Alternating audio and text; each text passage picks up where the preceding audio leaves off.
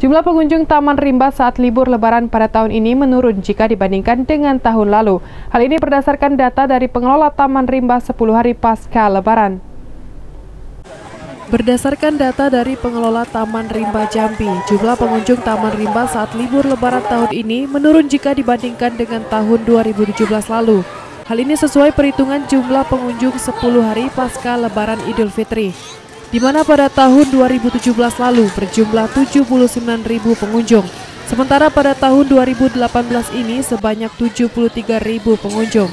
Kepala Pengurus Taman Rimba, Taufik mengatakan, terkait penurunan jumlah pengunjung ini, ke depannya pihak Taman Rimba akan lebih meningkatkan pelayanan dan fasilitas dalam melayani masyarakat. Uh, jumlah kunjungan kita di Kebun Data Taman Rimba Jambi liburan Idul Fitri 1439 Hijriah ini sampai hari kemarin, hari ke-10 itu sudah mencapai 77 ribu lebih. Untuk tahun kemarin? Uh, tahun kemarin uh, di hari ke-7, hari ini uh, memang terjadi penurunan sebanyak 70 tahun kemarin sebanyak 79 ribu, berarti terjadi penurunan sebanyak 2 ribu orang. Mungkin harapan ke depannya?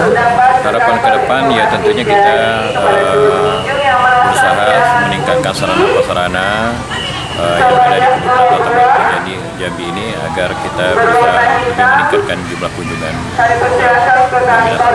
Hasar Fatangi, Cek TV melaporkan.